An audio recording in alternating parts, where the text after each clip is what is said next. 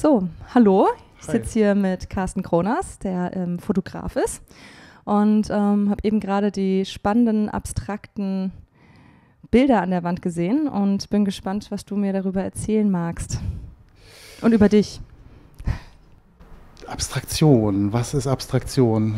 Also ich stelle mir die Frage, weil eigentlich im Prinzip die Arbeit ein Selbstporträt der Fotografie ist. Also eigentlich müsste die Fotografie als Medium die Antwort geben, weil ich habe eigentlich nur quasi umgesetzt das, was die Fotografie nicht mehr zeigen kann. Also in dem Falle das, das fotografische oder das, das gegenständliche Bild. Und zwar habe ich ähm, zwei Jahre lang alle Fehler aus meinem Negativarchiv, also aus, meinen, äh, aus den Negativvorlagen geprintet mhm. und dort halt bewusst alle Bilder rausgesucht oder alle Negativstreifen, wo das ne fotografische Abbild nicht mehr zum Vorschein kam. Also die, wo es quasi über, überbelichtet war oder ein Fehler auf dem Film passiert ist? Genau, die Eternal Errors, so wie die Serie auch heißt. Und ja, im Prinzip daraus ein fotografisches Porträt gemacht. Ja. Selbstporträt der Fotografie. Spannende Bezeichnung, Selbstporträt der Fotografie. Mhm. Ich habe es probiert.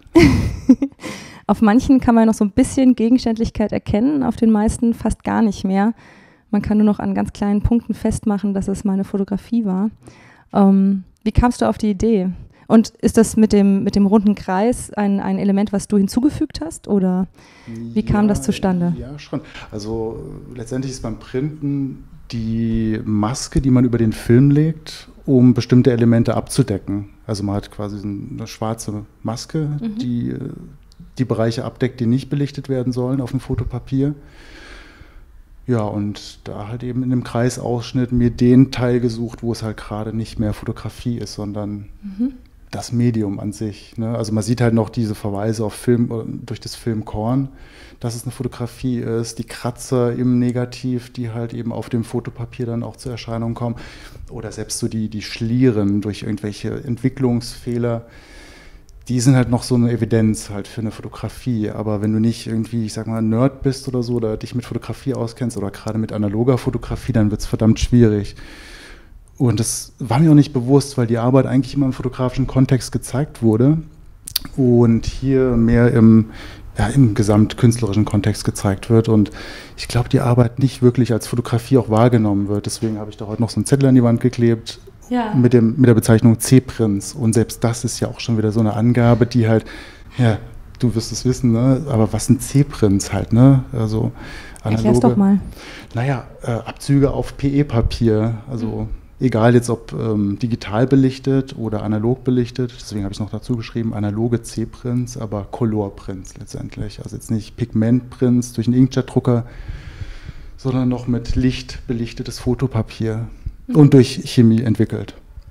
Und ähm, ist es jetzt so eine limitierte Auflage oder ist es jetzt so ein endloses Projekt, was du immer weiterführen wirst? Streng limitiert. Das sind alles Unikate.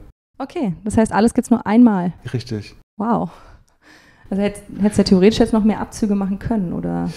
Ja, schon. Wobei ich fand es eigentlich ganz gut, dann das nächste zu machen, sich mit dem nächsten ja. Fehler zu beschäftigen sozusagen und das quasi ein bisschen ja, nicht als Massenauflage, weil es auch wieder eigentlich so das Thema ad absurdum führen würde. Es geht eigentlich so eher um das Unikat der analogen Fotografie. Und wenn du in Zukunft dann weiterhin so ähm, Fehler im Negativ findest, würdest du dann quasi Serie aber fortsetzen mit den neuen Elementen? Ah, schwierig. Also es gibt so ein paar Negative, die könnte ich mir noch vorstellen zu printen, aber es ist so, ich habe ich bin so ein Typ, der mit Langzeitprojekten echt so öfters oder, oder länger im Gewickel ist, also schon auch so bei drei, vier Jahre. Mein aktuelles Projekt Searching for Mr. X, da arbeite ich schon seit sechs Jahren dran. Wow. Also wenn gleich noch Zeit dafür ist, dann würde ich noch kurz dazu was sagen. Ja, sehr gerne. Und zwar Searching for Mr. X, eine Arbeit, die äh, entstand in Tel Aviv. Oder hast du noch eine Frage zu dem Eternal, äh, zu dem Eternal Error Projekt? Jetzt sind wir schon so gut drüber. Jetzt okay. erzählen wir sehr gerne davon und. Ähm Cut. Okay, also Searching for Mr. X, wie es halt so ist. Manchmal sind die Zufälle halt das Beste im Leben. Ne? Ich lebte in Tel Aviv so nach dem Studium für eine neue Arbeit. Zum Entspannen habe ich eine Dokumentation über Eritreer gemacht, die in Tel Aviv leben und ähm, mich echt fasziniert so für die, für die Kultur der Eritreer dort. Eines Nachts am Strand wurden unsere Telefone geklaut von meiner damaligen Freundin und mir. Mhm. Und der neue Besitzer meines Telefons, der wahrscheinlich mein Telefon auf dem Schwarzmarkt gekauft hat, fotografierte damit schickte mir die Bilder auf die Dropbox versehentlich oder zumindest mal unbewusst wow. und gab mir halt einen super Einblick in sein Leben. Als gebürtiger Eritreer konnte ich dann halt eben auch so, so Stellen von oder von, aus seinem Leben beobachten, die eigentlich nicht so zugänglich sind für, äh, ich sag mal, Weiße oder nicht ja, aus dem Touristen. Clan kommenden, ja, genau. Und ja, Zufälle gab es dann auch irgendwie innerhalb der Bilder, also wirklich krasse Zufälle, so dass es Leute gibt, die denken, das Projekt ist inszeniert. Und zwar habe ich eine Frau fotografiert, zwei Wochen bevor Mr. X die Frau auch fotografiert hat. Ja. Also ich entdeckte auf seinen Bildern quasi, Person. ja, genau. Wow. Und oder ein anderer Zufall war ein Haus, was ich porträtiert oder so eine Straßenszene fotografiert habe und sechs Monate später fotografiert er genau auf dem Haus weiter. Und da dachte ich, hey, ich suche Mr. X und bin dann nach Tel Aviv mit den seinen Bildern geprintet in Buchform, wollte ihm halt einfach seine Bilder zurückgeben, so als, naja, Performance, ne? So, ja. du hast da was verloren auf meiner Dropbox und es ist eigentlich ein ongoing Projekt. Letztendlich suche ich ihn immer noch. Okay, äh, hab dann, gefunden. Nee, genau, ich bin dann auch in sein Heimatland, Eritrea, gereist, habe dort weitergesucht mhm.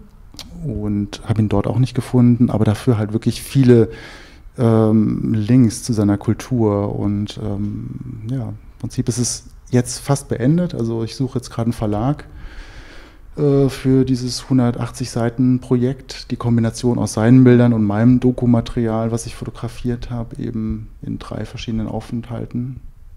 Ja, das ist so ein, das ist so eins von den Langzeitprojekten, sodass ja. ich jetzt wieder auf die Eternal Zero Error Serie zurückkommen sagen muss, ich bin immer ganz froh, wenn man auch was cuttet ja. ne, und sagt, das war es jetzt. Verstehe ich. Aber klingt nach total spannenden Projekten, auch sehr ähm, spannend, dass so der Zufall da so reingespielt hat. Und ähm, ja, ich fände es spannend und schön, auch wenn du irgendwann diesen Mr. X findest. Und ähm, würde sagen, das Buch kommt dann wahrscheinlich auf den Markt. Weißt du schon ungefähr wann? Nee, also ich hoffe Frühling nächsten Jahres, okay. aber wer weiß, was für Projekte noch kommen, weil es könnte ja jeden Tag irgendein Zufall neuer passieren. Zufall passieren und dann verschiebt sich das vielleicht ein bisschen, aber ja. ich bin da sehr optimistisch, dass der Winter total verregnet wird und ähm, ich ganz viel Zeit dafür habe. Okay, ja gut, dann ähm, würde ich sagen, ähm, bleibt auf dem Laufenden, guckt auf seine Seite, informiert euch und wir sind alle gespannt, was das Buch bringen wird. Ja. Ja, danke. Hoffentlich, danke dir.